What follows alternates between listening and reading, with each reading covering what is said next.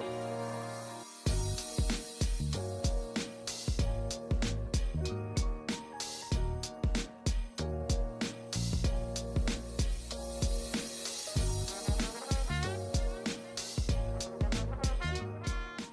Servus und Hallo zusammen. Herzlich willkommen zu einer weiteren Ausgabe des Urtalks. Mein Name ist Christian, aka Mr. Nicewatch. Und ich sitze heute an einem schönen Freitagnachmittag mit dem lieben Raff zusammen. Und ich freue mich auf eine gemeinsame Aufnahme. Äh, Servus Raff, wie geht's dir? Grüße nach Südtirol. Hey Chris, Grüße Wait, nach... Ganz kurz, bist du, bist du überhaupt in Südtirol? Ich bin jetzt, ja, ich bin jetzt wieder in Südtirol. Also es ist ja immer so ein Hin und Her. Äh, jetzt für einige Tage wieder hier. Und ähm, dann geht es aber auch am Sonntag schon wieder zurück nach Klagenfurt und äh, ja, auch äh, Grüße von Südtirol nach ähm, Mitteldeutschland, würde ich jetzt mal behaupten. Ich sitze hier in Düsseldorf, aber ähm, das, das Schöne ist halt wirklich, die, die Sonne scheint hier, es ist, es ist relativ mild draußen, also man hat so ein bisschen Frühlingsgefühle. Ähm, und äh, ja, ich freue mich jetzt auf ein Wochenende. Äh, bin ein bisschen kaputt von den letzten Tagen, waren irgendwie recht anstrengend gewesen, recht viel gearbeitet und so. Aber ähm, freue mich vor allem jetzt auch drauf, mit dir noch eine äh, schnelle Aufnahme hier so pünktlich zum, zum Wochenende noch zu machen, damit unsere Hörer am Sonntag was auf die Ohren bekommen. Ja, genau. Bei uns ja auch strahlende Sonne. Nee, eigentlich nicht. Also die Sonne scheint, aber es ist natürlich äh, der äh, bekannte Sahara-Staub in der Luft und deswegen ist es zwar sonnig, auch warm, aber ja, es ist ein ziemlich ähm, ja, eine dichte Wolkendecke, so wenn man es so nennen will, aber eignet sich herrlich zum Fotografieren an der frischen Luft, weil man natürlich äh, einen riesigen, eine riesige große Softbox und Anführungszeichen hat und deswegen, mhm. ja, das ist ganz cool. Aber heute geht es nicht um Fotografie, Chris, sondern zuallererst mal um den Audio Wrist Check. Chris, was trägst du heute in deinem Handgelenk? Ja, ich habe ähm, tatsächlich einen New Watch Alert am Handgelenk. Ähm, eine Uhr, da hatte ich jetzt bisher noch gar nichts drüber erzählt. Ich habe sie auch bisher noch nirgendwo gezeigt. sie ist auch erst gestern angekommen. Ähm, und zwar ist das jetzt eine Uhr, die äh, sicherlich der ein oder andere noch, noch, auch noch gar nicht so kennt und noch gar nicht auf dem Schirm hat. Ähm, und zwar ist es eine Laco. Ähm, also ihr kennt sicherlich die, die Marke Laco, deutsche, deutsche Uhrenhersteller. Äh, aus, ähm, dem, ja, aus, dem, aus dem Schwarzwald. Und ich habe die letztes Jahr auf einer Messe kennengelernt, hier in Düsseldorf. Da war die Watchtime gewesen. Ähm, ich meine, ich, ich, kannte Laco natürlich auch schon, schon länger, aber ähm, hatte mich tatsächlich, muss ich sagen, im Vorfeld noch nie so detailliert mit deren Marken oder mit deren Uhren beschäftigt. Ich kenne natürlich die ganzen Fliegeruhren und sowas, aber ähm, ich wusste nicht, was es links und rechts noch äh, davon gibt. Ähm, und sie hatten mir damals auf der Messe dann ein paar Uhren gezeigt, unter anderem auch eine Uhr, die jetzt Ende letzten Jahres rauskommen sollte und die mir auf Anhieb ziemlich zugesagt hat. Und zwar ist das äh, die Edition 96. Das ist ein Teil der ähm, Einsatzuhren-Kollektion von Laco. Also das sind so sportliche Diver-Uhren, äh, ähm, so ganz klassisch mit, mit einer Taucherlünette, sehr, sehr äh, robustes, sportliches Gehäuse.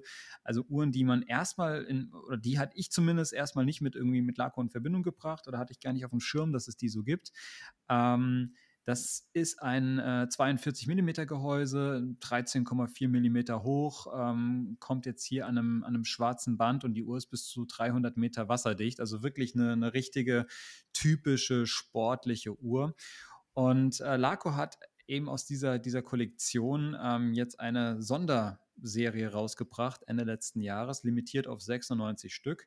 Ähm, anlässlich des 100-jährigen Jubiläums von LACO im Jahr äh, 2025 haben sie jetzt in den letzten Jahren immer so einmal im Jahr so eine, so eine Sonderuhr rausgebracht, die quasi äh, limitiert ist und dann halt auf das Uhren oder auf das, auf das 100-jährige Jubiläum hin von, von LACO äh, quasi ja, schon mal, schon mal hinweist. Und jetzt äh, im, im letzten Jahr kam eben die, die Nummer, ähm, die, die 96 raus, die Edition 96. Und das ist eine, ähm, ja, wie eine, eine komplett geschwärzte Variante dieser, ähm, dieser sportlichen Einsatzuhr von, von, von Laco. Ähm, das ist so ein äh, schwarzes PVD-beschichtetes Gehäuse. Man hat eine schwarze ähm, drehbare Lünette. Ähm, die, die Indexe äh, sind so in, in, in weiß und grau gehalten, also alles sehr dezent, sieht sehr sportlich, sehr toolig aus. Und ähm, was ich persönlich ganz cool finde, auf der Rückseite der Uhr, wenn man sie umdreht, ist auf dem Gehäuseboden so ein Skorpion ähm, eingraviert. Und ich persönlich bin als Sternzeichen aus Skorpion. Ähm, deshalb, ähm, weiß ich nicht, ich habe diese Uhr gesehen letztes Jahr auf der Messe und die hat mir auf Anhieb echt gut gefallen. Und sie wurde dann vorgestellt, ich glaube, im Dezember war es gewesen und war leider relativ schnell schon ausverkauft. Also die, die kamen sehr, sehr gut an. Ich hatte die damals sogar auch auf Instagram gezeigt und äh, das Ding war ruckzuck äh, verkauft. Und ich hatte dann äh, mit Laco geredet, habe gesagt, habt ihr noch eine? Irgendwie, ich hätte gern eine und ich habe da irgendwie Interesse und äh, fand das irgendwie mit dem Skorpion auch cool, weil das irgendwie so ein bisschen, bisschen zu, zu mir passt, eben wegen Sternzeichen. Ich bin jetzt keiner, der da groß was drauf gibt, aber ähm, ich irgendwie fand ich das irgendwie so passend und weil es halt einfach auch eine aus meiner Sicht sehr, sehr coole sportliche Uhr war mit auch oder ist mit einem recht eigenständigen Design. Und dann Laco gesagt, naja, eigentlich, wir sind alle schon verkauft, alles nichts mehr zu bekommen. Ähm, kannst ja mal gucken, ob vielleicht noch mal irgendwas auf den Markt kommt und so weiter. Und am Ende war es dann aber so, dass sie gesagt haben: Hey Christian, wir haben vielleicht eine Idee für dich. Ähm, und das macht mich jetzt unglaublich stolz und deshalb bin ich gerade mega happy mit dieser Uhr. Und als sie jetzt an, gestern ankam, war ich auch ganz begeistert. Äh, sie haben gesagt: Pass auf, wir haben, wir haben natürlich auch noch so irgendwie ein paar Prototypen von dieser Uhr und ähm, wir können es so machen, dass es dann dass wir es wirklich so ausnahmsweise so, so drehen, du kriegst quasi einen von diesen quasi Prototypen oder von diesen, diesen ähm, ja, Pressemodellen oder wie auch immer von diesen Modellen, die sie halt vorzeigen können aus der, aus der Ausstellungskollektion und ähm, gravieren hinten auf dem, auf dem Gehäuseboden dafür meinen Namen rein und steht jetzt Mr. Nicewatch, wenn ich die hier so umdrehe. Also ähm, schön so in, in, Silber auf, auf dem schwarzen Boden. Sieht richtig cool aus. Und äh, ist halt eine Uhr, die jetzt ähm, ja, quasi au außerhalb dieser, dieser limitierten Reihe irgendwie gelaufen ist, weil es halt einfach ein mehr oder minder ein ja, Vorzeigemodell halt war oder ist und äh, das ich jetzt bekommen habe. Und das freut mich gerade tierisch. Und es ist was, was ganz Besonderes für mich. Und deshalb die Uhr habe ich gerade am Handgelenk. Ähm, ich werde die Tage auch mal in Ruhe Bilder machen und sie auch mal posten. Das heißt also für diejenigen unter euch, die sich die mal anschauen möchten, äh, könnt ihr demnächst mal auf, auf meinem Instagram-Account vorbeischauen und einfach mal euch das Ding mal angucken. Also ich bin unglaublich stolz, so eine Uhr zu haben. Ich mag ja auch Uhren, die irgendwie so ein bisschen besonders sind. Ähm, und ja, das ist natürlich jetzt für mich irgendwie so ein, ja, was, ein ganz, ganz außergewöhnliches Stück, muss ich sagen. Das ist die Uhr, die ich gerade am Handgelenk trage. Ja, sehr cool. Also so ein bisschen, oder was heißt ein bisschen, ja, richtig deutsche Uhrmacher-Tradition. Und wenn es dann noch irgendwie personalisiert ist, dann, äh, ja, dann ist es eigentlich so ein bisschen ein Jackpot. Gefällt mir sehr, sehr gut. Ich hingegen habe heute eine Uhr an, die ich äh, explizit zu unserem Thema ähm, angezogen habe. Ich muss kein Geheimnis daraus machen, es steht im Titel, wir sprechen heute über Geralcenta. Mhm. Und äh, deswegen habe ich tatsächlich die einzige Uhr äh, angezogen, die, ähm, die in der Sammlung ist, mit, äh, ja, die eben von Gerald Centa designt wurde. Und zwar, einige ahnen es vielleicht schon, äh, die Cartier Pascha C Referenz 2324. Und ähm, ja, ist meiner Meinung nach immer noch ähm, eine der besten Uhren fürs Geld, äh, wenn man etwas Besonderes sucht, etwas Ausgefallenes, weil, äh, wenn man sich die ansieht, die hat eben diese Van Cleef and Arpels D-Anstöße. Mhm. Ähm, zudem hat man dann ein Metallband, sehr, sehr faszinierendes Metallband, alles flache, komplett, also Flatlink, also flache Bandelemente mit einer versteckten Schließe in einem 35 mm Gehäuse, angetrieben von einem äh, soliden Ätherwerk und eben diesen markanten Kronenschutz, wo praktisch äh, keine verschraubte Krone so an der Uhr montiert ist, sondern ein, ein, so ein, ein Hut, der eben über die Krone drüber geschraubt wird. Und das Ganze ist an der Kette montiert am Uhrengehäuse. Ähm, dazu noch ein Ziffernblatt mit großen arabischen Zahlen und eben auch einem ähm, Chemin de Fer, also dieses Eisen, diese Eisenbahnminiaturie. Mhm. Und das zusammen ergibt einfach ein super Gesamtpaket. Die Uhr ist 100 Meter wasserdicht und äh, ja, man erhält einfach ein sehr, sehr stimmiges Gesamtkonzept bei dieser Uhr, welches auch noch äh, zu einem Preis zu äh, ergattern ist, was bei Santos schon anfängt schwierig zu werden. Und ich spreche da von Vintage Santos. Das heißt, bei so einer Pascha, da ist man noch gut unter 3000 Euro unterwegs und ja, das Modell, das hat so gut wie, wie niemand auf dem Schirm. Also jetzt natürlich durch die Neuauflage ähm, im Jahre 2020 muss es gewesen sein, ja, hat das Ganze so ein bisschen äh, frischen Wind bekommen, aber immer noch meiner Meinung nach eine Uhr, die äh, ja nicht zu wenig Aufmerksamkeit bekommt, weil ich meine, darum geht es eigentlich ja nicht, aber es ist ein Geheimtipp, sagen wir es mal so. Es muss mhm. nicht jeder davon Bescheid wissen, es ist eine sehr, sehr spezielle coole Uhr und die löst äh, gleichermaßen irgendwie äh, Begeisterung, aber auch irgendwie äh, Ablehnung bei den Leuten. Also so, ich höre es da von Leuten, denen die super gut gefällt, wie es mir zum Beispiel auch geht. Und es gibt auch Leute, die einfach sagen, ja, das Teil ist absolut hässlich. Und ja, ist auf jeden Fall etwas äh, sehr polarisierendes. Ja, es ist, ähm, ich, ich muss persönlich zugeben, ich, ich tue mir mit dem Design dieser Uhr immer so ein bisschen schwer. Ähm, es, ist, es ist sehr außergewöhnlich, es ist sehr speziell, es ist aber auch sehr markant zum, zum anderen auch.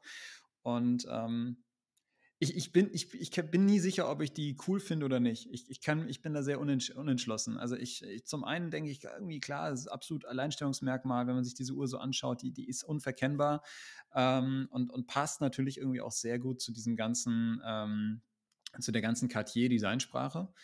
Ähm, zum anderen denke ich mir dann immer, irgendwie holt sie mich nicht ab, optisch. Aber äh, ich, ich verstehe vollkommen, warum, warum du da begeistert bist. Ich finde, das ist auch wieder eine sehr typische Raffuhr tatsächlich.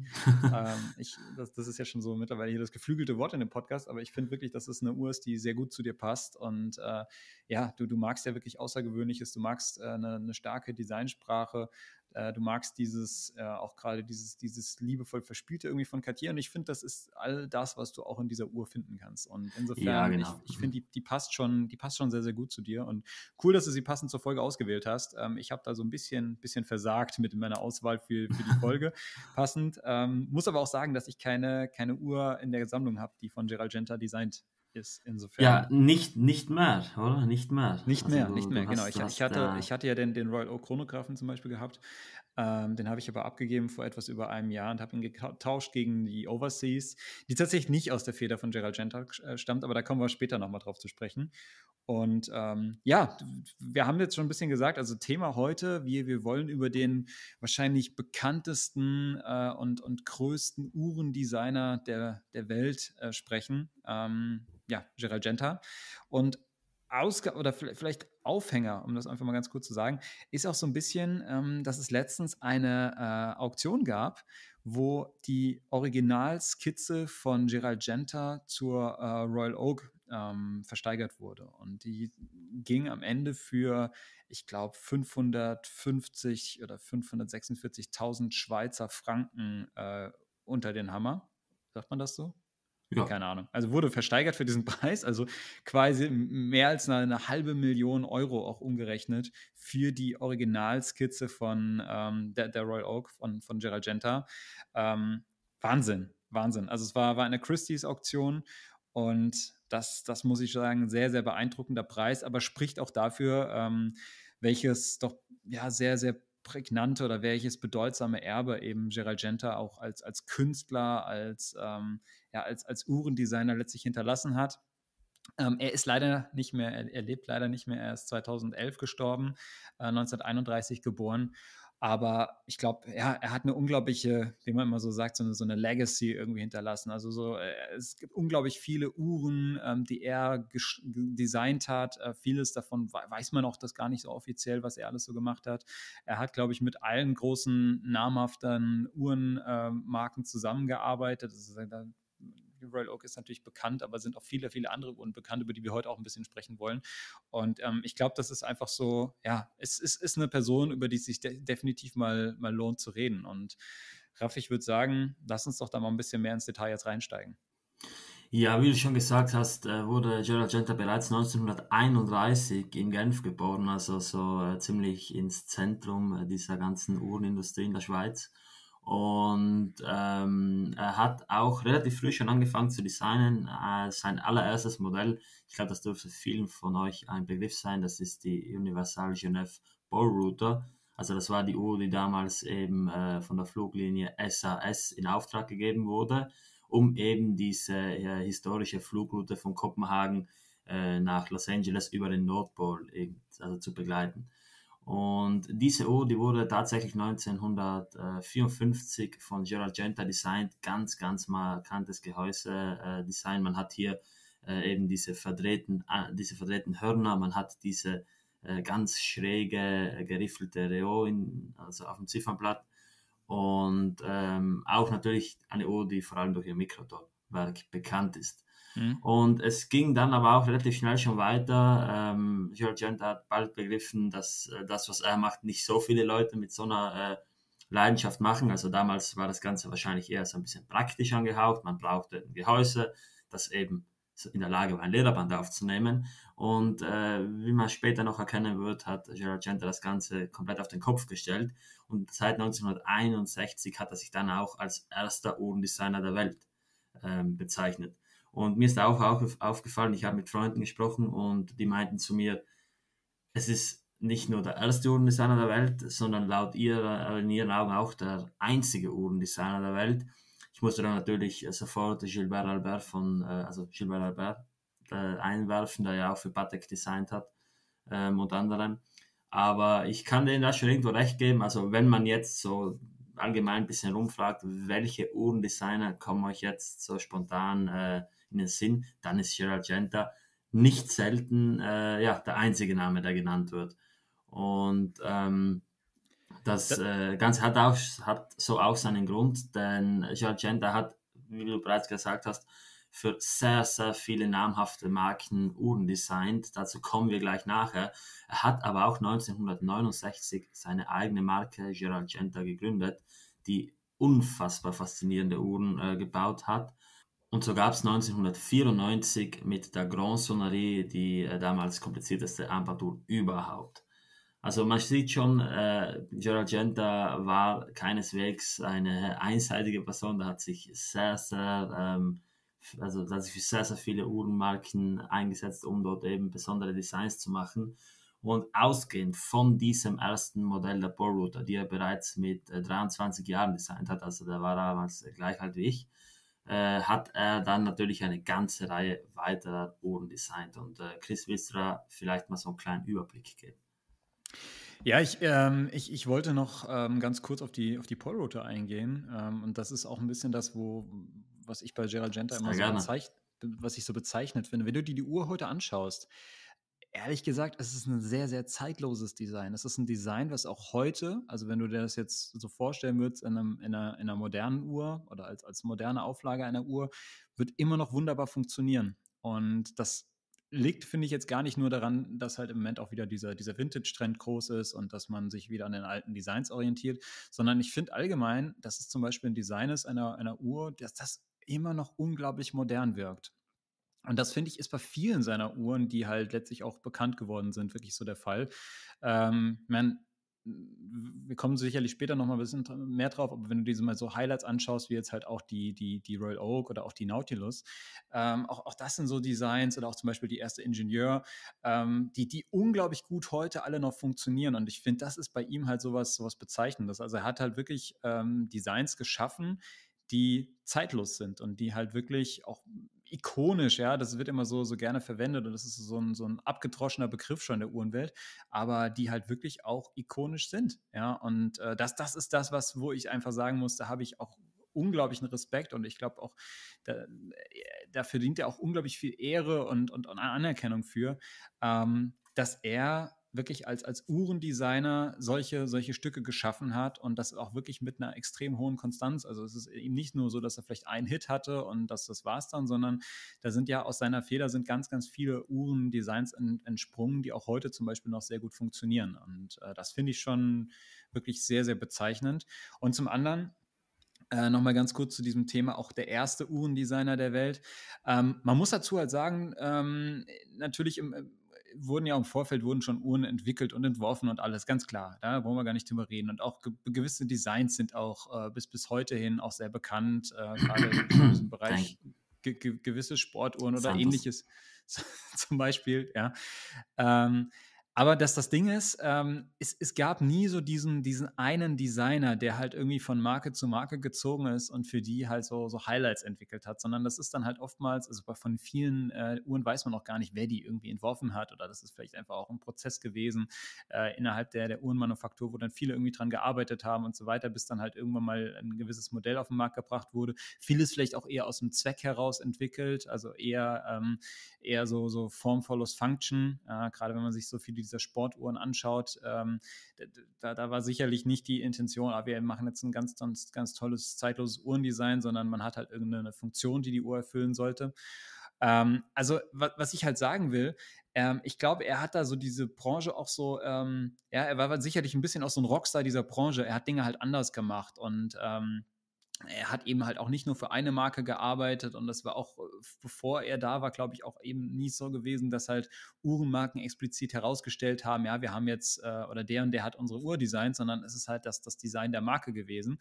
Und äh, Gerald Genta hat das so ein bisschen geändert und ähm, er ist halt eben einer gewesen, auf den sind Marken zugegangen, wie zum Beispiel Audemars Piguet später, äh, die dann gesagt haben, okay, wir wollen von dir ein Design, kannst du uns da unterstützen und äh, wo es dann explizit oder relativ schnell klar wurde, er ist der Designer, er ist der Schöpfer hinter dieser, dieser, dieses Modells. Also das, das war schon, schon ein bisschen auch ein Umdenken in dieser Branche und das äh, finde ich persönlich halt so spannend, wenn man sich mit ihm anfängt zu beschäftigen. Ja, genau, du hast es jetzt schon genannt, äh, unter anderem natürlich die Royal Oak, die Gerard Genta ähm, höchstwahrscheinlich vor dem Jahre 1972 designt hat, die wurde 72 vorgestellt, aber auch sehr, sehr viele andere Uhren, die man so nicht unbedingt auf den Schirm hat und bei denen man ja. zum Beispiel auch nicht weiß, dass sie von ihm kommen. So zum Beispiel die Omega Constellation aus dem Jahre 1959 mit diesem äh, bekannten Dogleg Case, also eben diesen Hundebeinchen als, als Hörnern. Mhm. Und äh, von da an ging es dann weiter. Die äh, Rolex King Midas zum Beispiel, also eine meiner absoluten Favoriten aus dem Hause Rolex, die wurde ebenso von ihm äh, gezeichnet und die Ingenieur, hast du bereits angesprochen, 1975 und ein Jahr später dann auch schon die äh, Patek Philippe Nautilus. Und das nächste bekannte Design, das hat lass dann, uns, äh, lass uns, Raff, Raff, sorry, wenn ich dich unterbreche, aber ja? ich glaube, wir können tatsächlich über das eine oder andere Modell hier echt nochmal kurz sprechen, ähm, bevor wir, bevor wir zu den, zu den ganz bekannten Ikonen kommen. Ja, selbstverständlich. Ähm, Du, du hast gerade eben die, die King Midas zum Beispiel angesprochen. Also auch das ist was, was viele tatsächlich gar nicht auf dem Schirm haben, dass ähm, es bei Rolex, also dass das A Gerald Genta für Rolex auch designt hat. Ja, und, und da gibt es zwei Modelle, die ich, die ich tatsächlich gerne erwähnen würde. Ähm, das, das zum einen ist natürlich die King Midas.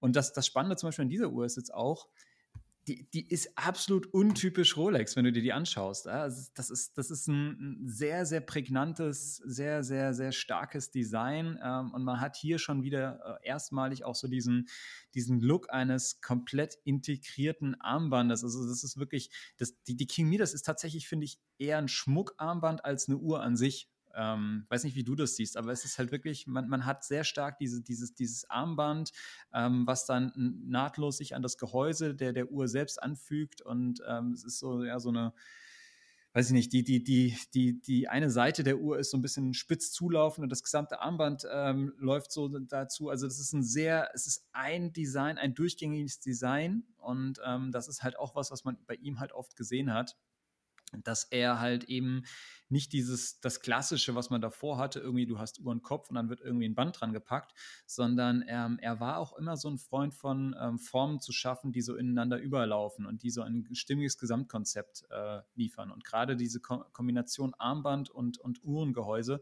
ähm, ich meine, da ist er ja auch gerade, in den letzten Jahren spricht man so viel über dieses Thema integriertes Armband und so weiter. Da ist er ja auch einer der, der, der Schöpfer diese, diese, dieses, äh, dieses Designansatzes, muss man einfach so sagen. Ja, genau, wie du schon gesagt hast, King Midas extrem ausgefallen äh, Uhr und das Ganze soll ja an einen griechischen, äh, an einen griechischen Tempel, also an den Tempel der Götter, an das Pantheon ja. erinnern. Ja. Und ähm, eine sehr, sehr beeindruckende Uhr auch an sich. Ich meine, das ist eine, eine nummeriert limitierte Rolex. 1000 Stück. Ja, es wurde danach natürlich noch weitergeführt in verschiedenen anderen Referenzen. Mhm. Aber die erste Referenz, die 9630, das war damals eben, äh, ja, eine, also ich glaube, die schwerste Rolex überhaupt, auch vom, mhm. vom äh, Gold her extrem massive Bauweise und tatsächlich auch von Hand mit den Worten King und Midas auf der Kronenseite eingraviert. Ja. Und ja, man sieht, also wenn man die Uhr sieht, die fällt sofort auf und das ist einfach äh, dieses, dieses absolut, ähm, ja, das absolut polarisierende Design von Rolex, welches man kein, in keinster Weise irgendwie einordnen kann.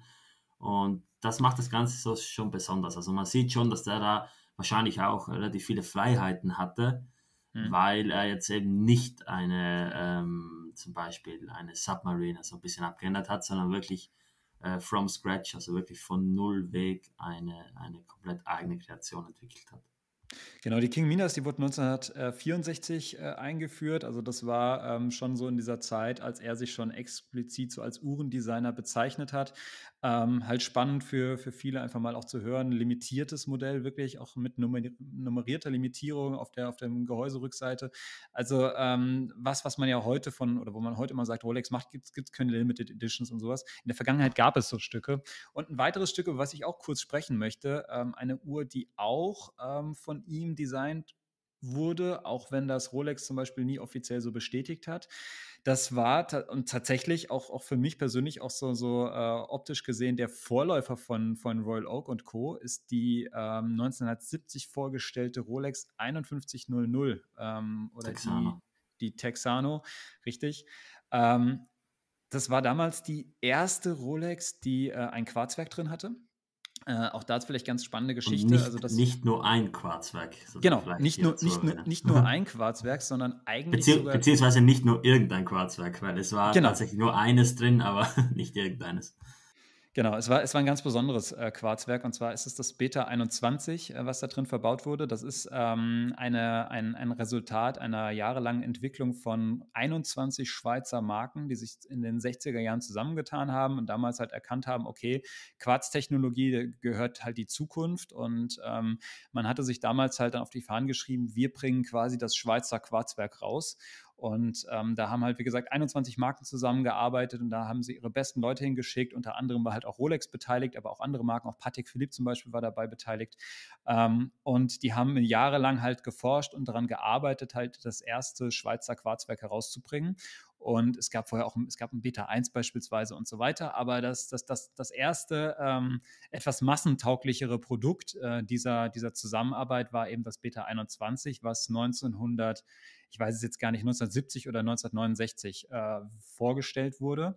Ähm, das Werk ist ja, war, war damals revolutionär. Es war auch unglaublich teuer in der Herstellung. Es wurde auch nur 6000 Stück mal hergestellt. Und ähm, diese 6000 Stück äh, wurden dann halt verteilt auf die, die jeweiligen Marken, die halt da mitgewirkt hatten. Und Rolex hat etwa, ähm, also hat zumindest in dieser, dieser, dieser Uhr, dieser 5100, die wurde tausendmal gebaut. Also auch hier wieder eine limitierte Rolex. Ich glaube, die haben 2000 Werke oder irgendwas abgenommen. Also sie haben etwas mehr abgenommen. Sie waren, glaube ich, auch von allen diesen Marken der größte Abnehmer dieser Werke, dieser Beta 21 Werke. Aber auch das äh, natürlich in vergleichsweise sehr geringen Stückzahlen, auch gerade wenn man sich mal anschaut, so eine Marke wie Rolex, die halt auch schon damals sehr viele Uhren produziert hat. Ähm, und das Spannende halt an dieser 5100 ist, die ist so ein bisschen, ähm, im, im, Geiste der King Midas, weil auch hier hast du ein, ein sehr, sehr, sehr schweres Vollgoldgehäuse. Ähm, man hat auch hier ein integriertes Design. Es wirkt deutlich sportlicher. Es ist, ähm, man, man, man, man sieht schon diese, diese Anleihen des, des, des Oyster Cases, aber das halt kombiniert mit einem, ähm, ja, mit einem integrierten Armband. Und ist auch so der Vorläufer von den später sehr bekannten und die man auch jetzt heute relativ äh, gut auch kennt, äh, Oyster Quartz Modellen. Ähm, und ist für, für mich persönlich eine unglaublich beeindruckende Uhr. Äh, 39 Millimeter, wirklich extrem schweres, massives Gehäuse, ganz, ganz schweres, massives äh, Band, ähm, 900 Stück in, Voll, in, in Gelbgold hergestellt und circa 100 Stück in Weißgold. Ähm, und das Spannende halt damals äh, war halt, diese Uhr war abartig teuer. Es war halt auch die erste Rolex mit einem Saphirglas. Es war die erste Rolex mit einer Datumsverstellung, eben halt mit, mit, diesem, mit diesem Quarzwerk, was halt auch damals sehr, sehr, sehr teuer war. Und das war halt 1970 als bei Einführung auch so eine Uhr, wo man gesagt hat, das ist jetzt so der Anbeginn einer neuen Zeit. Und damals stand halt eine Quarzuhr für den absoluten Luxus. Und äh, deshalb auch dieser Name äh, Texan oder Il Texano, also man gesagt hat, sowas kann sich eigentlich nur so ein, so ein äh, texanischer Ölmilliardär irgendwie leisten, so eine Uhr. Und das Spannende war halt auch, äh, die Uhr wurde zwei Jahre lang nur hergestellt, limitiert, hatte ich eben schon gesagt. Und wenn du diese Uhr gekauft hattest, warst du automatisch Mitglied im Rolex Quartz Club, was, was ich auch ganz, ganz lustig finde. Ähm, der hatte nicht lange Bestand, aber letztlich war das äh, quasi so ein äh, Club für die, für die besten Rolex-Kunden sozusagen. Man hat gesagt, wer die Uhr kauft, der ist halt wirklich top, top of the top von, von unserer Kundenliste. Und äh, mit Beitritt in diesen Club hattest du Zugriff zum Beispiel oder durftest du irgendwie jederzeit ins, ins Hauptquartier von Rolex zu Besuch kommen, dir Sachen anschauen und warst irgendwie auch im goldenen Buch der, der Marke verzeichnet und so weiter. Das ganze Quarzthema hatte sich dann, hat sich dann, äh, dann doch leider relativ schnell auch wieder erledigt, beziehungsweise es gab dann zwar die Oyster-Quarz-Modelle, aber ähm, so dieser, dieser Rolex Quarz Club und so, ich glaube, das, das war, hatte nicht lange Bestand, aber damals bei Einführung war das halt eine Sensation. Und das ist so eine Uhr, ähm, die, die auch von, von Gerald Genta stammt. Es wird gar nicht so viel drüber geredet, aber er hat das, glaube ich, irgendwann mal bestätigt, dass er die ähm, entworfen hatte. Und das Spannende halt bei dem Modell ist, sie führt tatsächlich, finde ich, schon sehr, sehr stark auf das dann zwei Jahre später vorgestellte, ähm, ja, auf die zwei Jahre später vorgestellte Royal Oak ähm, hin, weil vom Design her sind die beiden sich grundsätzlich doch relativ ähnlich. Die, die Royal Oak ist natürlich nochmal durch diese achteckige Lünette und sowas äh, deutlich prägnanter. Aber das Grunddesign ähm, ist, ist, ist, ist irgendwie ja, sehr, sehr stark erkennbar, dass, dass ihn das so fasziniert hat, dieses Thema integriertes Armband, ähm, so ein fließender Übergang zwischen, zwischen Gehäuse und Band und auch eine sehr äh, prägnante, sehr, sehr kantige Designsprache. Ähm, das hat natürlich damals auch zu diesem 70er Jahre Zeitgeist gepasst. Ähm, deshalb, also die, die zwei Modelle wollte ich einfach auch nochmal erwähnt haben, weil das auch viele nicht auf dem Schirm haben. Und äh, gerade für so eine Marke wie Rolex, die ja normalerweise auch nie was von sich preisgibt oder wo man nie was weiß, wer, ähm, keine Ahnung, da irgendwie im Hintergrund was entworfen hat und so weiter, äh, ist das tatsächlich relativ viel Information, die es da, es darüber gibt, dass hier ähm, eben auch ein Gerald Genta mitgewirkt hat und äh, so, so, zwei Modelle rausgebracht hat, die auch ja, sehr bezeichnend in der Designsprache sind. Da stimme ich dir voll und ganz zu. Also man sieht, wie da eben dieser Werdegang war von von den verschiedenen Marken und da lässt sich dann auch so ein bisschen nachvollziehen, man hört es ja heute immer wieder, dass da so gewisse Ähnlichkeiten, gerade in dieser Zeit, ja, selbstverständlich gibt es da gewisse Ähnlichkeiten, weil man, man hat da relativ schnell gesehen, dass das Design auch irgendwo ankommt und im Laufe der Jahre bis zum heutigen Tag hin hat sich das einfach äh, ja, bestens entwickelt. Das sieht man ja auch, wenn man sich heute aktuelle Modelle ansieht, wo man immer noch mhm. diese, diese, diese Designlinien drin hat. So. Absolut, absolut. Ähm, ich weiß nicht, sollen, sollen wir mal über die, über die, die, die große bekannte Uhr, die dann kurz danach, Anfang der 70er Jahre vorgestellt wurde, ähm, jetzt mal sprechen? Wir haben jetzt die Royal Oak immer wieder genannt, aber sollen, sollen wir dazu mal ein bisschen was sagen? Ja, selbstverständlich. Dann lasse ich, lasse ich dich gleich mal so eine kleine Einführung dazu geben. Ja, also ich meine, es, es wurde natürlich schon unglaublich viel immer wieder über die Royal Oak geredet ähm, und, und, und jeder kennt sie und äh, in den letzten Jahren ist sie heißer als je zuvor. Aber ähm, das, das, das Spannende ist halt wirklich, wie das Ganze eigentlich angefangen hatte. Und äh, es war so gewesen, dass 1970 Audemars Piguet auf, ähm, auf den Designer Gerald Genta zugegangen ist und damals gesagt hat, wir brauchen ein Design für eine Sportuhr, die soll im Idealfall irgendwie wasserfest sein und die soll halt wirklich gedacht sein für so ja, für sehr, sehr erfolgreiche so Lifestyle-Personen, die irgendwie diese, diese Uhr in, in ihren auch, auch aktiven Alltag mit einbinden und eine Uhr sein, die zum Beispiel auch oft auf der Yacht oder sowas getragen werden kann und deshalb muss auch ein bisschen Wasser abkönnen. Ist keine typische Sport-Taucheruhr oder sowas. Also jetzt nicht sowas in Richtung, keine Ahnung, Submariner, Diver oder sonstiges, was man damals schon kannte, sondern es war wirklich so als, als Luxusuhr gedacht, aber als sportliche Luxusuhr. Und das war halt äh, auch was, was man ähm, bis dato, diese, diese Kategorie von Uhr, die gab es bis dato eigentlich nicht. Also auch davor die Stücke, hat jetzt gerade eben ja zum Beispiel über diese, diese beiden Rolex-Modelle äh, geredet, die waren ganz klar in Gold, die waren ganz klar halt, äh, natürlich waren das vielleicht ein, ein, auch ein modernes Design, aber das waren halt an sich elegante Uhren oder Uhren, die halt wirklich einen gewissen Status repräsentiert haben und die waren jetzt nicht als, als reine Sportuhren gedacht.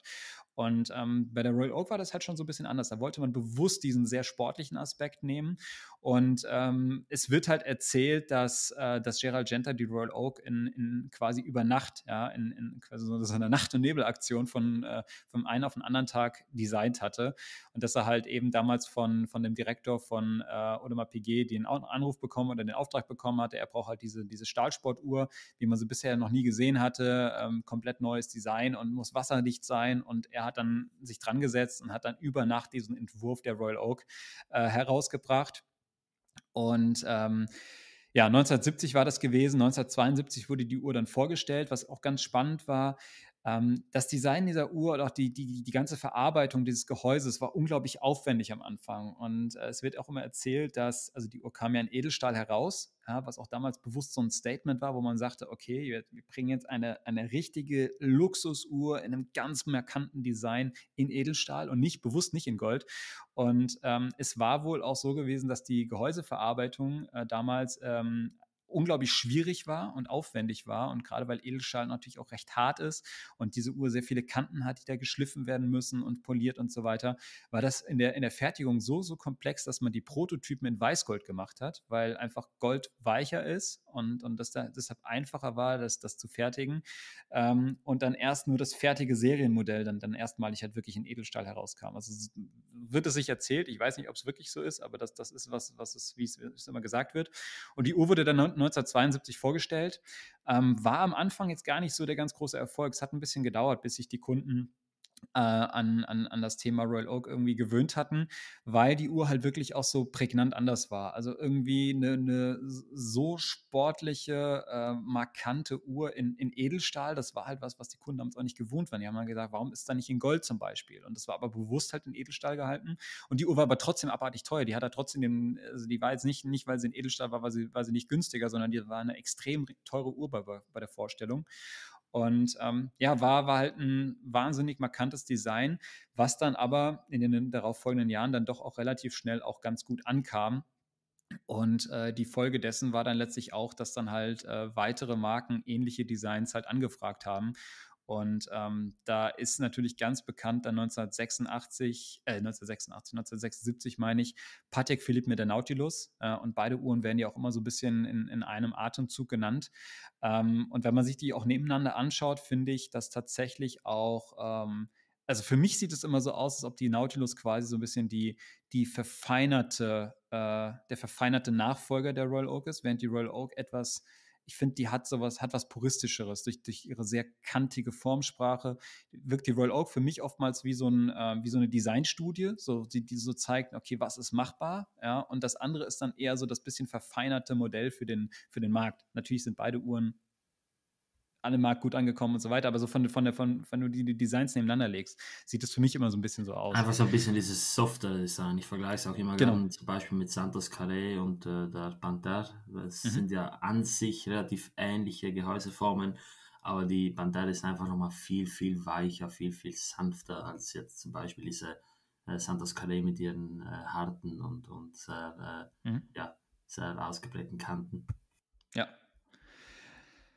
Genau, also ähm, das, das ist halt noch das, ähm, was, was halt äh, wirklich spannend oder sind, glaube ich, natürlich die ganz großen Highlights, die dann letztlich auch Gerald Genta ähm, auf, auf eigentlich ab dem Moment auch wirklich zur, zur Legende auch gemacht haben oder auch ihn heute auch zu dieser Legende machen, die er ist.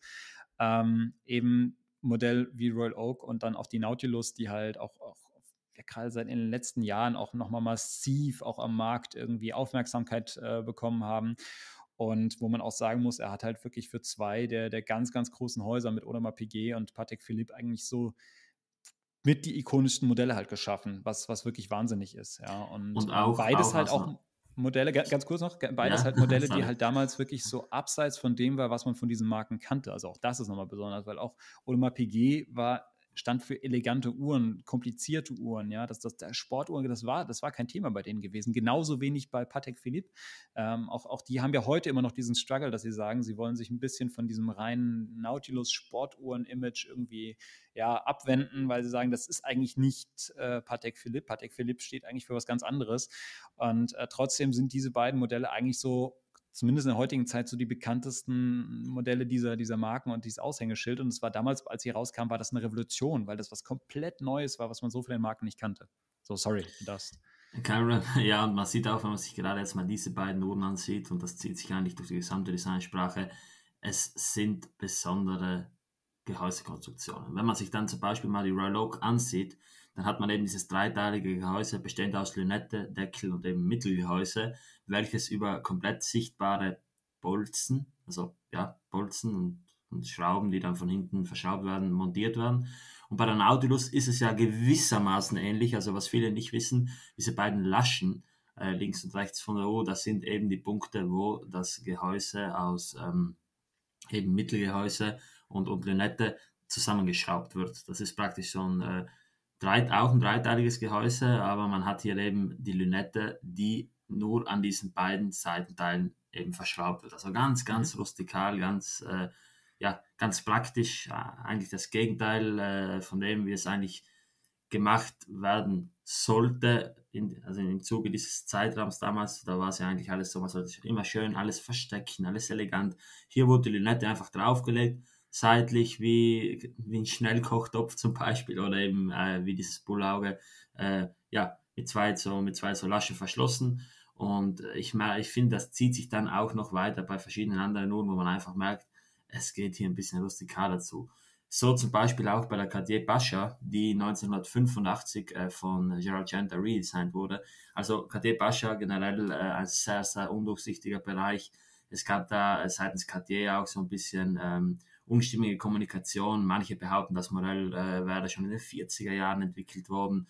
Äh, es ist eigentlich allerdings bekannt, dass das Modell eben erst in den 80ern ähm, auf den Markt kam. Und da hat Gerald Genta 1985 äh, auf Grundlage von äh, Designideen aus dem Hause äh, Cartier, welches damals eben für den äh, Pascha von Marrakesch, äh, ein, also welches damals eben ein Ruf für den Pascha von Marrakesch sein sollte, eben die neue Pascha designt und ähm, wie bereits im Audio Wrist Check erwähnt, auch eine sehr ausgefallene Uhr, eben dieses Band, welches äh, an diesen D-Anstößen an der Uhr fixiert ist und eben immer mit diesem äh, markanten Kronenschutz, welcher so meines Wissens nach bei keiner anderen Uhr zu finden ist.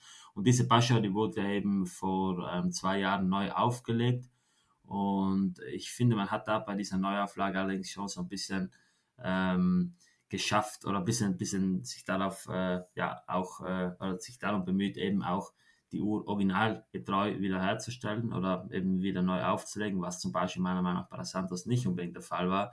Man hat also die Uhren mit, ähm, ja, also eine 35er Pascha aus, aus 2020 äh, ist dann relativ gut vergleichbar mit jetzt zum Beispiel einer Pascha C aus 2005. Und ähm, ja, finde ich sehr cool, dass er da eben auch äh, bei Cartier seine Finger im Spiel hatte, aber auch bei anderen Marken. So zum Beispiel äh, geht ja so ein bisschen das Gerücht rum, dass äh, Giorgenta auch bei der Psycho AGS seine Finger im Spiel hatte, eben bei dieser Genta AGS. Und ganz ausschließen kann man es nicht. Was man allerdings mit Sicherheit weiß, ist, dass Genta bei Credor, also einer Tochterfirma von Psycho, äh, für die sogenannte Locomotive eben auch ähm, ja, seine also sein Design äh, dort eingebracht hat und das eben eine Uhr ist, welche, wenn man sie sich ansieht, ziemlich äh, einer Royal Oak ähnelt. Man hat ja auch dieses Band mit diesen zwei Verbindungselementen, jeweils relativ zentral und auch diese achteckige Lünette. Aber was es bei dieser Uhr dann noch zusätzlich gibt, ist eben dieser ähm, D-Anstoß beim Band, wie er auch bei der Pascha zu finden ist. Und so wie auch bei der Pascha zu finden ist, ist dieser D-Anstoß vor allem aber bei seinen eigenen Uhren zu finden. Denn Argenta. Bevor wir, bevor wir auf, die, auf die eigenen Uhren zu sprechen kommen, ich würde ganz ja? gerne nochmal eine, äh, eine Uhr in die Runde werfen, ja, die, äh, die tatsächlich auch zu dieser, dieser Designsprache aus, seinen, aus den 70er Jahren halt passt und die auch da in der Zeit entworfen wurde und ähm, die vielleicht nicht unter den Tisch fallen sollte. Und zwar die IWC Ingenieur. Ähm, auch 1976 vorgestellt oder eingeführt, äh, genauso oder zeitgleich mit der äh, Nautilus. Und äh, auch das ist eine Uhr, ähm, die eigentlich dieses ganz klassische 70er Jahre Design mit integriertem Armband, was er ja halt maßgeblich mit, äh, mit, ja, mit, mit geprägt hat, äh, auch diesem, diesem Design folgt. Ähm, die Ingenieur, guckt euch die gerne mal an, auch gerade so diese ersten oder diese frühen Modelle. Ähm, damals auch eine sehr große Uhr, 40 Millimeter. Ähm, das muss man vielleicht auch dazu sagen. Auch, auch die Royal Oak und auch die Nautilus, das waren für ihre damaligen Zeit unglaublich große Uhren, ja, mit 39 Millimetern und so weiter. Das waren Uhren, die, die wirklich unglaublich präsent und sportlich waren. Und das war auch bewusst so gewollt. Und das, ich meine, das passt heute. Und heute klingt das jetzt alles gar nicht so riesig. Ähm, aber ähm, das war halt damals wirklich eine Revolution. Und eben halt diese Ingenieur war zum Beispiel halt auch eben so eine Uhr aus, aus seiner Feder. Äh, auch hier dieses sehr ähm, ja, stimmige Design zwischen, zwischen Uhrengehäuse und Armband, was halt fließend ineinander übergeht. Ähm, es ist ein bisschen, für mich sieht die Ingenieur immer ein bisschen aus wie eine Fusion aus einer Nautilus und einer äh, Royal Oak. man hat irgendwie diese, diese Lünette mit, mit ähm, da sind jetzt keine Schrauben drauf, sondern da sind so, so Einkerbungen, quasi, weil das auch noch wirklich eine verschraubte Lünette ist. Also die Lünette ist wirklich drauf. Fürs Gehäuseöffnungsstuhl. Genau, richtig, richtig, ja. Äh, also hat deshalb wirklich auch einen, auch einen richtigen Zweck, ja. Ähm, aber die, die Formen sind in Summe so bis so runder, ja. Es ist, es ist alles etwas weicher als jetzt bei der Royal Oak beispielsweise. Dann ist es ähm, ganz kurz, dann ist es mit der Lünette im Endeffekt so wie äh, eben bei den ersten äh, Rolex-Modellen damals im Oyster Case äh, mit der geriffelten Lünette, wo die Lünette auch eben mit diesem äh, eigentlich ja Gehäusebodenöffnungstool verschraubt, verschraubt war. Mhm. Ganz interessant, ja. Ja, ja stimmt, richtig, ja. Und ähm, also das ist so die, die, die dritte im Bunde aus diesen bekannten 70er-Jahre-Designs. Und eine Uhr, auf die ich jetzt noch kurz zu sprechen kommen möchte, weil das immer mal wieder so gesagt wird, was aber tatsächlich nicht der Fall ist, ähm, ist die äh, Vacheron, also nicht die Vacheron Constant Overseas, das ist ja das, die, die heutige Auflage, aber quasi das Urmodell, der Urvater, die Referenz 222, ähm, wo wir vielleicht dieses Jahr bei der Watches and Wonders ja eine Neuauflage sehen werden. Ähm, da wird oftmals gesagt, dass die Uhr auch aus der Feder von, von Gerald Genta sei, aber das ist tatsächlich nicht so. Ähm, die Uhr wurde, glaube ich, wann war das? 1978 eingeführt, bin ich der Meinung. Also etwas später ähm, oder 77, ich weiß jetzt nicht ganz genau. Ähm, auf jeden Fall ähm, wurde die aber designt von Jörg Heisek. Ähm, 77. 77, okay, genau. Ein Jahr nach, der, nach Nautilus und Ingenieur. Und auch die Uhr grundsätzlich auch diese, dieser Designsprache folgend, aber ist halt eben nicht aus der Feder von Gerald Genta, sondern wie gesagt Jörg Heisek, das ist ein deutscher Designer. Ähm, und ähm, wird aber oftmals auch verwechselt, wird oftmals gesagt, das sei auch eine Genta-Uhr. Ähm, sie entspricht diesem Design, aber ist eben nicht von ihm. So, und deshalb, ich glaube, in den 70er Jahren ist sein, sein Design sehr, sehr klar gewesen und in den 80er Jahren hat er sich dann ähm, auch der, der neuen Zeit angepasst und es haben dann eben auch wieder etwas andere Formen äh, Einzug gefunden. Du hattest eben die Pascha ja schon mal genannt. Und ich finde zum Beispiel, die Pascha ist tatsächlich von der Designsprache auch doch, oder da gibt es Elemente, wo ich sage, das erkennt man dann auch in so einer eigenen Marke halt wieder. Ähm, also da gibt es zum Beispiel die, die, diese, die, dieses Retrograd-Modell, ähm, was, was er eingeführt hat, ich finde, da gibt es zum Beispiel Elemente, genau. allein auch bei der Krone und auch das, das runde Gehäuse, was, was auch schon, schon Pascha ähnlich ist. Aber ähm, mach du gerne mal weiter. Ich hatte dich vorhin unterbrochen, als du über seine Marke sprechen wolltest. Ich muss vorher mal beichten, ähm, äh, als ich angefangen habe, mich mit Uhren zu ähm, beschäftigen, da habe ich immer ähm, den Chronograph mit dem Chronometer verwechselt. Und äh, das habe ich nach einiger Zeit dann zum Glück so ein bisschen äh, fixen können. Jetzt gibt es aber immer noch so ein bisschen äh, ein Wirrwarr bei mir und zwar verwechsel ich immer mal wieder den äh, Jörg Heisek mit dem Nikolaus Hayek. Ah ja, das, das sind zwei verschiedene genau. Personen. ich hatte dann auch damals in der Dubai Mall eben äh, Heisek-Uhren gesehen, weil eben dieser Jörg Heisek seine eigene Marke dann auch gegründet hat und ganz ausgefallene Stücke auch äh, nicht gerade nach meinem Geschmack. Aber das ist auch so ein bisschen äh, so, ein, so ein bisschen verwirrend, oder? Mit diesen ganzen Namen, den Y, ja. H und K am Ende so. Ähm, ja, wir hatten ja auch in der letzten Folge mit Lukas, da hat er auch den, ähm, wen hat er verwechselt? Den Sohn, glaube ich, von Nikolaus äh, Hayek. Ich bin mir gerade genau, nicht also, sicher. Genau, also Nick Hayek hatte er verwechselt mit äh, Nikolas Hayek? Nee, also ich glaube, er hat einen anderen Namen genannt. Ich weiß nicht mehr, aber auf jeden Fall gab es auch da Verwechsel. Also äh, Nikolas Hayek ist, ist ja quasi der ähm, Gründer der, der Swatch Group mehr oder minder und hat sich da einen großen Namen gemacht. Und sein Sohn ist der Nick Hayek, ähm, der die, die, die Gruppe auch, auch heute noch weiterführt. Ähm, ja, und ich glaube, da gab es auch eine Namensverwechslung auf jeden Fall. Und, äh, aber das ist nicht immer so einfach mit den, mit den ganzen Namen. Also mir geht es auch manchmal so. Genau, und was ich dann noch schnell äh, anfügen möchte, ganz interessant bei äh, der Vacheron Constantin 222, hat man eben auch eine Lünette, die äh, verschraubt wird und ganz cool, da ist im Lieferumfang damals original eben auch äh, das Öffnungstool dabei gewesen, mit welchem man eben diese Lünette mit den ganzen Einkerbungen öffnen kann. Und ich finde, das ist schon ähm, ein sehr, sehr cooles äh, Detail. Und ja, ähm, wir wollten jetzt ja nochmal zu Gerald Genta kommen. Und ähm, dieser hat 1969 seine eigene Marke gegründet. Die Marke heißt auch Gerald Genta. Mhm. Und er hat damals schon ähm, relativ schnell angefangen, sehr, sehr beeindruckende Uhren zu designen.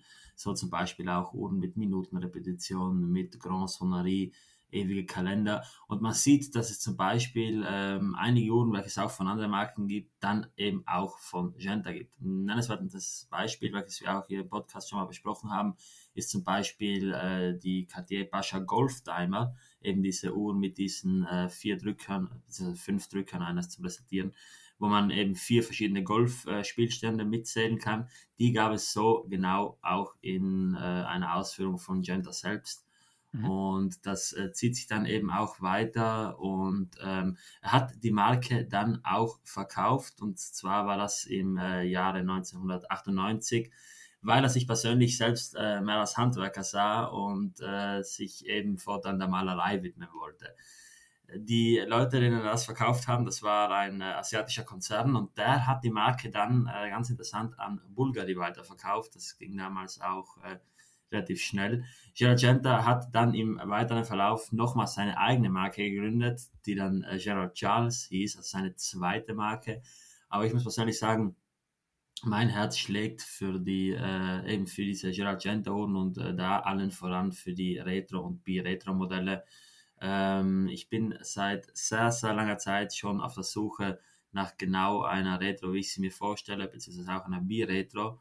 Und äh, mal schauen, vielleicht kommt da ja was in äh, absehbarer Zukunft.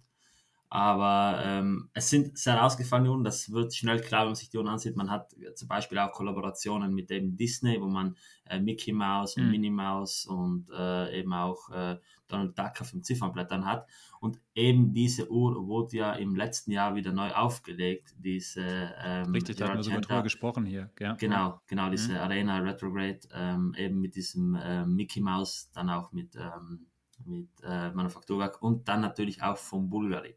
Und das Coole bei der ganzen Sache ist, also ich höre immer wieder so, ja, ähm, wie ist das jetzt bei so Independent Watchmakers mit Service hin und her und wenn man sich die Uhr jetzt ansieht, die Retro, dann ist das natürlich eine Uhr, wo auf ein äh, Werk dann noch ein Modul aufgesetzt wurde. Und äh, ich habe mich da im Vorhinein auch schon so mit äh, bisschen mit beschäftigt, wie das dann eventuell bei einem Service aussehen würde. Und eine sehr, sehr coole Sache, die ich sehr, sehr lobe, die Uhren können allesamt direkt vom Bulgari geserviced werden. Das heißt, man hat hier absolut keine Probleme mit und äh, ja, ich habe die Uhr, also ich habe die Biretro, das war mein allererster Kontakt mit einer ähm, Giargenta Uhr, ich habe die damals in Zürich beim Dudicum Get Together vom äh, lieben Luigi äh, mal anprobieren dürfen. Da hatte eine sehr, moderne Iteration, eben auch mit Sekundenzeiger retrograde Minutenanzeige, Springstunde und äh, retrograde Datumsanzeige. Und das äh, allercoolste Merkmal war Uhr, wieso dann auch bei mir dieser Haben-Wohl-Faktor noch stärker wurde. Man spürt am Handgelenk, wenn die, äh, also wenn der retrograde Zeiger der Minute zurückhüpft und die Stunde weiterspringt, weil mhm. Es ist eben nicht nur eine äh, retrograde Minute, sondern eben die retrograde Minute ist kombiniert mit einer ähm, Scheibenuhr, mit einer springenden Stunde, Jump Hour. Mhm. Und das macht richtig äh, so klack und das spürt man am Handgelenk. Und deswegen, äh, ja, da war es dann um mich geschehen. Ich äh, brauche so eine Uhr unbedingt, äh, ist sehr ausgefallen und äh, auch ein cooles Design. Man hat eben seitlich eben, äh, so, eine, so ein Coin-Vessel, so einen Münzrand, wie man es zum Beispiel auch von äh, Breguet gewissermaßen kennt. Und ähm, ja, die, die wohl beeindruckendste Uhr, die er damals gebaut hat, das war eben 1994 äh, die Grand Sonnerie, eine äh, Grand Sonnerie mit Automatikwerk. Die hatte einen Westminster-Schlag mit äh, vier Hämmern und ähm, natürlich war das nicht nur eine Grand Sonnerie, das war ja auch ein bisschen peinlich, äh, Spaß beiseite. Das war äh, keineswegs nur eine Grand Sonnerie, sondern auch ein Tourbillon und ein ewiger Kalender und mhm. dann noch eine zweite Zeitzone. Ähm, und das war eben in so einem pyramidenförmigen Gehäuse. Wenn man sich das ansieht, dann sieht man gewisse Ähnlichkeiten zu Cartier Pascha, eben diese, ähm, Absolut, diese ja. D-Anstöße und auch dieses, äh, diese ansteigende Lünette. Und er hat es auch so, es wird jedenfalls von, von dieser Jargenta Heritage ähm, von diesem Heritage-Verein, der von seinen Nachfahren so gegründet wurde, wird es so dargestellt, äh, dass wenn man im Jahre 1994 ein Monarch oder ein Milliardär oder sogar ein Millionär war, der die ultimative, ultimative Armbanduhr wollte, dann hätte man sich wahrscheinlich die Geragenta Grand Sonnerie geholt. Und ähm, ich finde das echt beeindruckend, dass er nicht nur Uhren designt hat, die so, keine Ahnung, austauschbar sind, halt eben aus seinem Design, sondern Uhren, die man auf den ersten Blick direkt als Girargenta-Uhren bezeichnen kann. Es gibt dort auch eine skelettierte Girargenta mit einem Stabwerk. Wenn man die so sieht, da steht kein Girargenta drauf und so weiter, wenn man die sieht, dann weiß man, es ist eine Girargenta. Und äh, ja, deswegen sehr, sehr beeindruckende Uhren gefallen mir außerordentlich gut und äh, da lohnt es sich absolut mal einen Blick drauf zu werfen. Vor allem, weil man Girargenta Uhren äh, eben seine eigenen Uhren auch noch zu sehr guten Preisen findet, da die einfach so nicht, ähm, ja, erstaunlicherweise nicht so äh, von vielen Leuten beachtet werden. Viel, also ich würde mal sagen, jeder in der Uhrenszene, der so ein bisschen tiefer drin ist, der kennt Girargenta und der behaupte ich jetzt mal, ist eine Behauptung, der, der findet auch die Designs ganz cool, ja. Aber seine eigenen Kreationen, die ja erstaunlicherweise nicht wirklich viel mit Royal Oak und Nautilus und Intelligentes mhm. Band zu tun haben, sondern eine komplett andere Linie fahren in, in, in den meisten Fällen, die finden nicht so viel Anklang. Aber ähm, ja, mir soll es recht sein, da sind die Preise ein bisschen günstiger. Und äh, von dem her, ja, das sind sehr, sehr schöne Uhren, die äh, mich persönlich äh, sehr faszinieren und äh, ja, die für mich auch einen großen Teil der Freude dieser Aufnahme jetzt ausmachen. Ja gut, man muss auch sagen, dass er einfach sein, ähm, sein Design sich halt über die Jahre natürlich entwickelt hat. Und äh, wie das halt auch immer so einem, so einem Leben eines Künstlers ist, der entwickelt sich selbst weiter, der findet sich halt selbst neu und äh, seine, seine Anfänge waren ja vergleichsweise noch, noch relativ unspektakulär in Anführungszeichen, also schöne klassische Designs, aber noch nicht, noch nicht so äh, extrem, ähm, extrem auffällig oder extrem sich von der anderen, von der Masse der, der anderen Uhren abhebend. Dann, wie gesagt, hatte er diese, diese sportlichen Jahre mit irgendwie integriertem Armband, wo halt äh, das eine sehr, sehr klare, markante Designsprache ist, die auch heute halt extrem gut ankommt, in den letzten Jahren halt auch massiv noch gefragt ist und äh, hat sich dann über seine späten Jahre hinweg, hat er sich dann halt auch wiederum weiterentwickelt und hat dann auch sehr außer, ausgefallene Designs gemacht, die halt auch nicht was für jedermann sind, das muss man auch sagen. Also es sind auch, glaube ich, viele Uhren, die halt aktuell äh, nicht den, den Mainstream-Geschmack äh, treffen. Also ich weiß, dass sie deinen Geschmack beispielsweise treffen, aber jetzt halt nicht den Geschmack des 0815 Standardkundens und äh, ja, deshalb ist, ist, es sicherlich auch einfach so ein, so ein, so ein Schöpfungsprozess, äh, der da irgendwie stattgefunden hat. Und äh, auch gerade, wenn, wenn, man sich seine letzte Marke jetzt auch nochmal anschaut, äh, Gerald Charles, ähm, hattest du ja eben schon mal angesprochen, ist eine Marke, die tatsächlich jetzt in den letzten Jahren, gerade über Social Media, verstärkt wieder auf die Bildfläche getreten ist, die man lange Zeit jetzt auch gar nicht so auf dem Schirm hatte. Ähm, aber auch da sind die Designs, finde ich persönlich, eher gewöhnungsbedürftig. Ähm, das ist auch so eine Kombination aus irgendwie runden Formen und eckigen Kanten. Ähm, gibt es äh, auch, auch, erstaunlicherweise relativ teuer. Als ich die Uhren zum Beispiel das erste Mal gesehen habe, hätte ich jetzt gar nicht gedacht, dass die so teuer sind. Gehen irgendwie so ab, weiß nicht, 15.000, 16.000 Euro los. Ähm, sind sicherlich schön gefertigt. Ich habe noch nie eine in der Hand gehabt. Äh, gibt so ein paar Modelle, die so ein bisschen sportlicher sind, ein äh, paar, die etwas eleganter sind, aber im Wesentlichen, ja, ist es, ist es halt auch eine sehr prägnante Designsprache. Mhm. Jetzt für, für mich persönlich eher nichts, muss ich sagen. Ich bin auch mit seinen späten Werken, das sind dann sind auch nicht mehr so, so meine, meine Uhren, die mich so 100% abholen. Aber ähm, ja, es ist, ist einfach interessant, was er, was er wirklich alles gemacht und, und geschafft hat, ja. Und äh, er hat halt irgendwie hunderte verschiedene Uhren designt und das, das ist echt, echt schon, schon crazy und äh, das ist wirklich sehr, sehr beachtlich. 2011 ist er im Alter von 80 Jahren dann gestorben und ähm, ja, hinterlässt aber halt ein sehr, sehr großes Erbe und unglaublich viele Designs, die, glaube ich, auch über die nächsten Jahre und, und Jahrzehnte immer noch irgendwie stilprägend sein werden für, für zukünftige äh, Entwicklungen, was, was Uhren anbelangt. Also da, da muss, glaub, man, muss man wirklich sagen, ist Wahnsinn, ja. Ich glaube, dass es äh, gut und gerne auch nochmal dazu kommen wird, dass man neue Designs von Gerard sehen wird, weil ähm, mhm. als, als, also er hat ja von sich selbst behauptet, dass er über 100.000 Uhren designt hat und ich kann es mir gut vorstellen, dass da irgendwann nochmal äh, eine Marke zu einer Skizze kommt und die Uhr dann so auflegt und das wird dann sicher äh, ja, für sehr, sehr viel ähm, ja, für sehr ein großes mediales Momentum sorgen und ich bin da mal gespannt. Also das ist schon wirklich äh, ja, was Besonderes und wahrscheinlich ist es nicht un, äh, unrealistisch, dass das so nochmal kommen wird. Ja, ich denke, das Ding ist halt auch, dass ähm, viele Marken natürlich halt auch ähm, erstmal jetzt nicht so damit oder äh, einfach nicht, nicht so aufgestellt waren, dass sie sich hingestellt haben und gesagt haben, ja, unser Designer oder Designer dieser Uhr ist Gerald Genta, sondern der hat halt für die eine Auftragsarbeit gemacht, hat halt ein Design entworfen und vielleicht haben sie diese Uhr rausgebracht, aber sie haben das jetzt so nicht kommuniziert. Und äh, weil viele Marken natürlich, die sind äh, nach außen hin auch oftmals sehr geschlossen mit dem, was, was kommuniziert wird und ähm, so dieses Thema, dass Gerald Genta jetzt so, so einen massiven Hype hat und auf dem Markt dann so ähm, anerkannt ist, äh, dass man sagt, das ist was Tolles, dass wir eine Gerald Genta Uhr haben, das ist ja auch erst so in den letzten irgendwie 10, 15 Jahren so, so ein großes Thema geworden. Und das war ja lange Zeit halt einfach, der hat halt für die eine Arbeit gemacht und, und fertig aus, ja. Und sie haben das Design halt von ihm übernommen. Und ähm, da, da, da ging es nicht darum, wer ist der Designer, sondern eigentlich sollte die Marke halt im Vordergrund stehen. So ist es ja ganz oft in der Uhrenindustrie.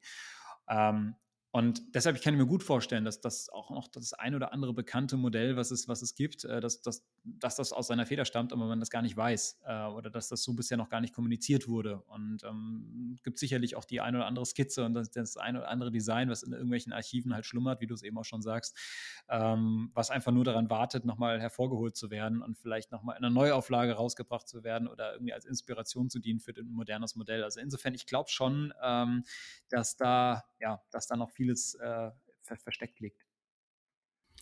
Es ist auf jeden Fall spannend und äh, ich finde, es gibt mittlerweile auch schon, oder was heißt mittlerweile, es gibt sehr, sehr viele Designs von Gerald Genta, die absolut äh, ja, übersehen sind, auch heute noch und ähm, von dem her. Ich würde es trotzdem nicht unbedingt von dem Namen abhängig machen, obwohl es äh, meiner Meinung nach nicht äh, cooler, weil sie eben von jemandem designt ist. Ich bin da immer äh, relativ unvoreingenommen und äh, ja, hat zum Beispiel so auch bei der, bei der Overseas nie ein Problem damit gehabt, dass irgendwie nicht von Gerald Genta designt wurde. Ich glaube, da sollte man sich dann nicht zu viele Gedanken machen.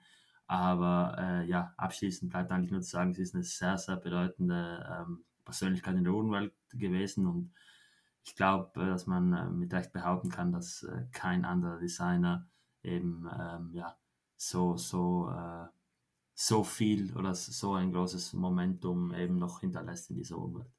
Ja, da, da, stimme ich dir zu. Das ist so, ja. Also ist Wahnsinn, äh, was, was er geschafft hat und ähm, habe ich ganz, ganz großen Respekt vor. Und ich glaube, als Uhrenliebhaber kann man nur dankbar sein für das, was er geleistet hat, weil da einfach halt extrem viele schöne Uhren hervorgegangen sind, die uns heute am Handgelenk einfach immer noch Spaß machen und auch in Zukunft noch Spaß machen werden. Genau. Und in dem Sinne, Chris, äh, würde ich sagen, ich bedanke mich bei dir für die Aufnahme. Es hat sehr viel Spaß gemacht, war mal ein Danke bisschen dir. ein anderes Thema. So. Mhm. Äh, muss aber unbedingt mal angesprochen werden. Ich glaube, das haben wir schon seit äh, über eineinhalb Jahren irgendwie auf unserer Liste. Und ja, mich würde jetzt mal interessieren, äh, was ist so euer Favorit äh, von den Genta Uhren? Ähm, schreibt uns das gerne mal auf Instagram, schreibt uns das per Mail, schreibt uns das in der UTOC Community Gruppe auf Telegram. Link dazu findet ihr in der Podcast-Beschreibung. Und in dem Sinne wünsche ich euch jetzt noch einen schönen Tag und das letzte Wort, Chris, das überlasse ich gerne dir. Macht's gut. Ja, danke schön, Raff. Äh, wie gesagt, mir hat mir auch Spaß gemacht, war mal cool über dieses Thema zu sprechen. Ähm, wir hatten es schon länger in Planung gehabt und ja, ich weiß nicht, also es gibt nicht mehr viel hinzuzufügen. Deshalb, ich freue mich auch über Kommentare und Anregungen von euch und in dem Sinne bedanke ich mich und wünsche euch einen guten Start in die neue Woche beziehungsweise einen schönen Sonntagnachmittag, wenn ihr das an dem Tag hört, wo die Folge rauskommt. Bis dann, ciao, ciao.